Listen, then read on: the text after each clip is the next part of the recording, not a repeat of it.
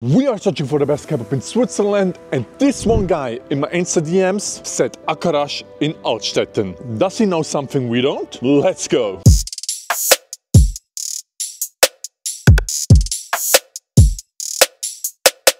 Here's the whole kebab, bread test, meat test, and now the whole thing. Hmm. Okay, now we're talking. Look at this bread. Look how thin this is. This is absolutely delicious. This bread actually has flavor. It has a doughy feeling. It's not too thick. It's crispy on the outside. This is a really good bread. I love it. In my opinion, absolutely too much sauce. Look at this. Everywhere is sauce. They put way too much in it. Not necessary at all. And the meat, I'm honestly not quite sure. Look at that. This is how it looks like also filled with sauce. It's a very mild meat. I think this is a mixture between veal meat and and lamb or chicken, not quite sure. It doesn't come with a lot of flavor.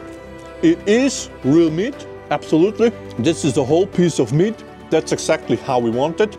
So definitely better than standard, but it just can't compete with the steak meats. It's too mild and it loses its flavor because of the sauces. Vegetables all pretty fresh inside and the amount of the kebab is also pretty good. And I don't think you can take this kebab without sauce because the meat hasn't that much juice with it. This one comes with cabbage, tomatoes, carrots, salad and obviously onions. Good enough, but not really that special. The layering of the kebab is really good. I love with every bite you get something from everything. Meat, bread and vegetables. Good job. The sauces are quite mild in the kebab and the king bite Yes, guys, this is exactly what I'm looking for. Homemade bread, sliced meat, but can it compete with the top 10?